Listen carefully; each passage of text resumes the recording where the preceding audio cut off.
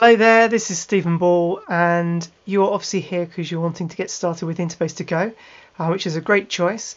So I'm going to take you through how to get the initial license file that you'll need to deploy with your application, just to give you all the great features of Interbase within your application. Now, first thing to do, just come to the interbase.com and go to the deploy page.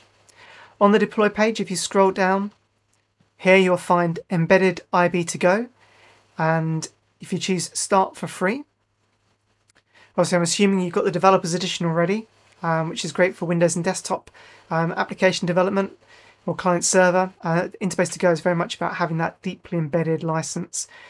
Now this is ideal for mobile and if you're using uh, Rad Studio Enterprise or Architect Edition then you've already got a license for the to go edition for mobile uh, if you have a look in your fulfillment email, you'll be able to find your serial number there and your registration code. If you're using any other platform, or if you want to target uh, desktop, or if you're developing with another development tool like Rad Studio, then just come to this page here, fill in your details, and hit start your trial, and you'll get an email sent to you with your serial number. Uh, if you've already got an EDN account, you can just log in here, and that will then get you through to that page. The email you get sent through looks a little bit like this. Uh, it's an automated email, so it comes through straight away with your serial number and also your reg code. And in here, there's a link to reg.embarcadero.com. If you click that link, just put in your personalized serial number and reg code and choose next. You'll then have the chance to download your license file ready for use.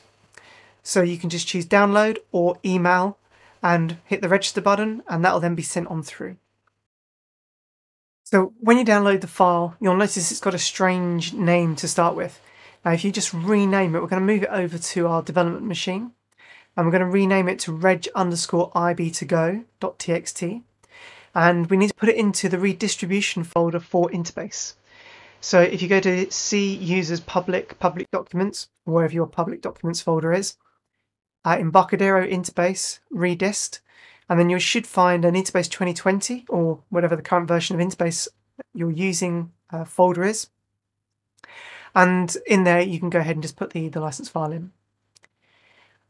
That's as simple as it is, and that then means that it will pick up and be ready to use as we deploy out on any platform. Now, I've got a project open here, and I'm going to show you two little things here quickly. Uh, first under the project deployment, if you go to the feature files, if you add in Interbase to go, you'll see here all those redistribution files. You can see the IB redist directory is a, an environmental variable of the IDE. So that knows how to pick it up and find the local uh, the license file for you. The one thing I would say is just either rename the IB file or just unselect it if you want to use to go within a specific project or a specific platform.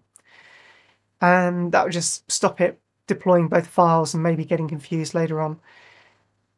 So just uh, set that up and then you're ready to go. And literally you can now deploy your application out to mobile and it will pick up the files, everything's good. If you're running out onto Windows, um, one little trick um, is to actually use PA Server. So if you have a look in the folder where Embarcadero Rad Studio is installed, uh, typically program files in Embarcadero Studio, current version, and then there's a PA server folder in there, you'll find the installers for the different platforms for PA server. Now, PA Server is our platform assistance program. It allows you to remote debug and test and run applications on other machines. But you can also run a loopback locally so I've installed that locally on my machine. I've gone ahead and under the target platform properties, I've added a new profile and set that up for uh, a name to be kind of local 32 uh, or, or whatever you want to call it, uh, and then just save that in. I'm now able to run out to that profile using PA server. So I've got my PA server here just running. So I've gone to PA server at command prompt, launch PA server and put in the password that I've set in my PA server configuration. And now I can deploy and run my application directly from the IDE. Now, the great thing about doing this is it means that uh, you'll be able to find your Scratch directory and your profile. You'll be able to find your application and then you've got all the files together there ready to copy and deploy out or to test outside the IDE. Simple as that to get going. Right, now before we finish off, I just want to end off with a quick shout out for the info docs on the resources page of the interbase.com website. Now, these resources are really, really useful if you're getting started. Um, there's one specifically for Visual Studio and .NET developers, pointing where to get all the kind of key resources for you, um, and also one for Rad Studio developers. So just go ahead, click those. Uh, it will take you in, uh, and then you can you know download that, and they're all hot clickable links within the PDFs, just to kind of get you going and moving forward. So that's it. I hope you find this really, really useful. Uh, happy coding, and if you have any questions, feel free to reach out to me or a member of the Embarcadero pre-sales team globally. Um, we're always here to help and look forward to hearing what you're doing with Interbase. Take care.